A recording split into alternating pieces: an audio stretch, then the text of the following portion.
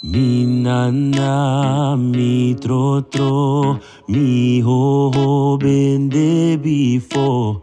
Yere, yere, anana yere wi. Zolang we no kri verstaan, wie nossa de friman. Het is 150 jaar geleden, maar elke dag dat ik opsta wil ik vechten. Vechten voor erkenning en vechten voor onze rechten. Onze voorouders hebben eeuwenlang geleefd in onderdrukking en depressie.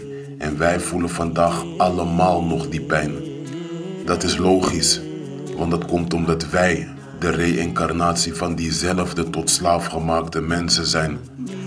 Onze voorouders hebben een loodzware strijd voor ons geleverd en wij moeten hiermee doorgaan. Wij maken alleen een kans als wij samen als één team bij elkaar blijven staan.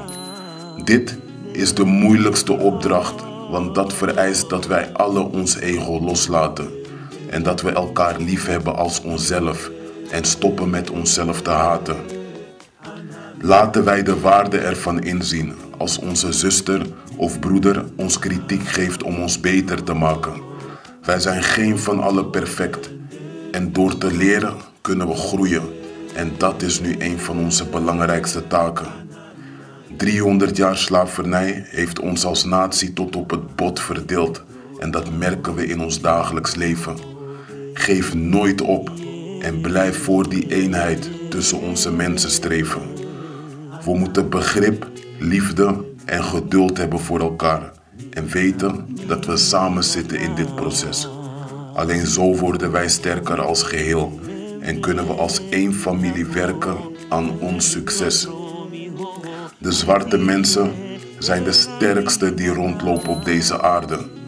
Alleen moeten wij weer bewust worden van onze eigen krachten en onze eigen waarden. Geef elkaar respect, kracht, liefde en al het goede dat je ook jouw ouders zou toewensen. Herstel van onze wereld begint binnen onszelf, mijn lieve mensen.